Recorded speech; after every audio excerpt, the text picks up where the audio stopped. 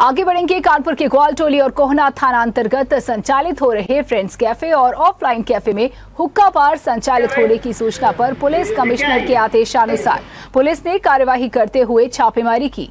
मौके से पुलिस को बड़ी मात्रा में हुक्का और हुक्के में इस्तेमाल होने वाली सामग्री बरामद हुई। बता दें कि वहीं पाँच लोगों को गिरफ़्तार भी किया गया है।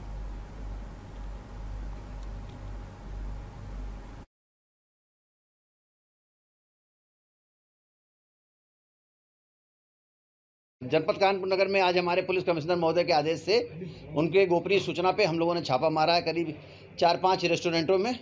यहाँ पे इस तरह की सूचना थी कि हुक्का और व्यवस्था होती है।